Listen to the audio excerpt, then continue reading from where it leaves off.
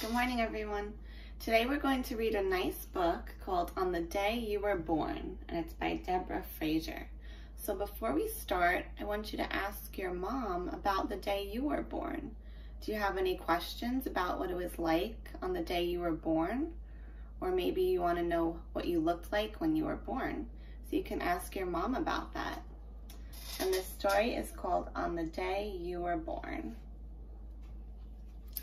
On the eve of your birth, word of your coming passed from animal to animal. The reindeer told the Arctic terns, who told the humpback whales, who told the Pacific salmon, who told the monarch butterflies, who told the green turtles, who told the European eel, who told the busy garden warblers, and the marvelous news migrated worldwide. While you waited in darkness, tiny knees curled to chin, the earth and her creatures, with the sun and the moon, all moved in their places, each ready to greet you for the very first moment on the very first day you arrived. So you were in your mommy's belly before you were born. On the day you were born, the round planet Earth turned toward your morning sky, whirling past darkness, spinning night into light.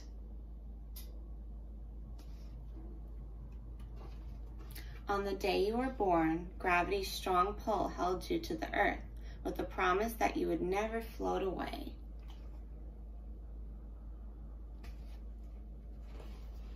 While deep in space, the burning sun sent up towering flames lighting your sky from dawn until dusk.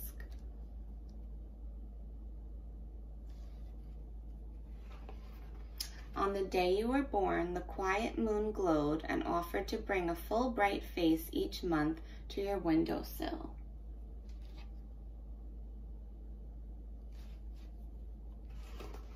While high above the North Pole, Polaris, the glittering North Star, stood still, shining silver light into your night sky.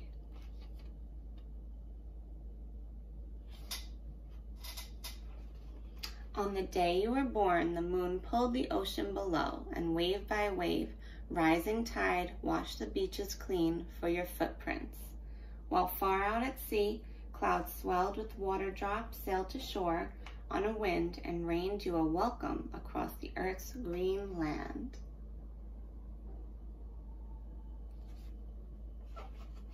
On the day you were born, a forest of tall trees collected the sunlight in their leaves where in silent mystery they made oxygen for you to breathe.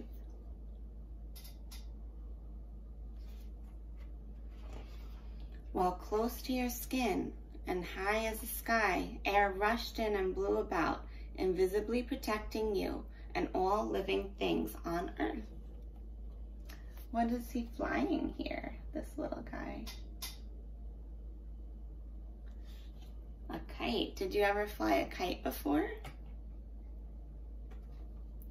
On the day you were born, the earth turned, the moon pulled, and the sun flared, and then with a push, you slipped out of the dark quiet, where suddenly you can hear a circle of people singing with voices familiar and clear.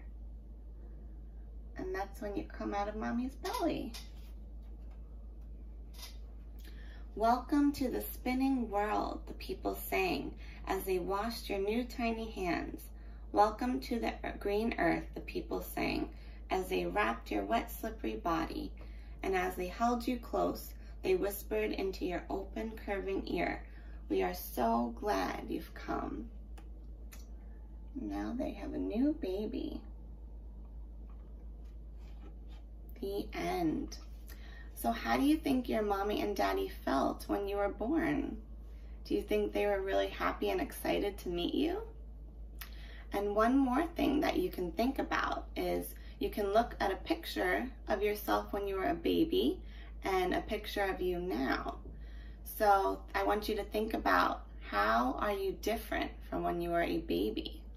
And is anything the same when you were a baby as you are now?